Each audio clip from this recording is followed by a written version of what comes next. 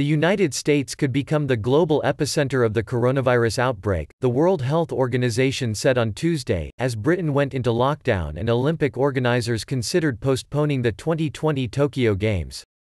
But the Chinese province of Hubei, where the virus was first identified in December, said it would lift travel restrictions on people leaving the region as the epidemic there eases.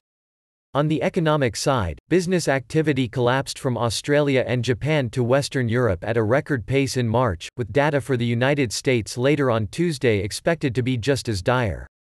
The coronavirus outbreak represents a major external shock to the macro outlook, akin to a large-scale natural disaster, analysts at BlackRock Investment Institute said. WHO spokeswoman Margaret Harris said in Geneva there had been a very large acceleration in coronavirus infections in the United States which had the potential of becoming the new epicenter. Over the past 24 hours, 85% of new cases were from Europe and the United States, she told reporters. Of those, 40% were from the United States.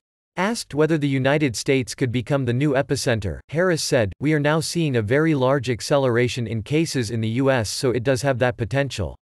We cannot say that is the case yet but it does have that potential. Some U.S. state and local officials have decried a lack of coordinated federal action, saying having localities act on their own has put them in competition for supplies. U.S. President Donald Trump acknowledged the difficulty in a tweet. The world market for face masks and ventilators is crazy. We are helping the states to get equipment, but it is not easy, he wrote. Confirmed coronavirus cases exceeded 377,000 across 194 countries and territories as of early Tuesday, according to a Reuters tally, with over 16,500 deaths linked to the virus. Of the top 10 countries by case numbers, Italy had reported the highest fatality rate, at around 10%, which is reflective of its older population. The fatality rate globally is around 4.3%. Britain, believed by experts to be about two weeks behind Italy in the outbreak cycle, woke up on Tuesday to curbs on movement without precedent in peacetime after Prime Minister Boris Johnson ordered the country to stay at home. The streets of the capital were eerily quiet as all but essential shops closed and people only went to work if it was essential. Johnson had resisted pressure to impose a full lockdown even as other European countries had done so, but was forced to change tack as projections showed the health system could become overwhelmed. A decision on whether to postpone this year's Tokyo Olympics for the first time will come in days, sources said on Tuesday.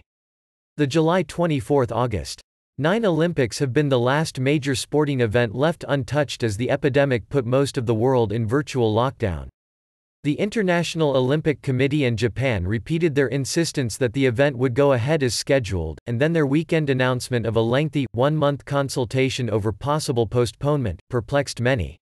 Japanese Prime Minister Shinzo Abe and IOC President Thomas Bach were to talk by phone on Tuesday. China's Hubei province, the original epicenter of the outbreak, will lift travel curbs on people leaving the area, but other regions will tighten controls as new cases double due to imported infections. The provincial capital Wuhan, which has been in total lockdown since January 23, will see its travel restrictions lifted on April 8. However, the risk from overseas infections appears to be on the rise, prompting tougher screening and quarantine measures in major cities such as the capital Beijing.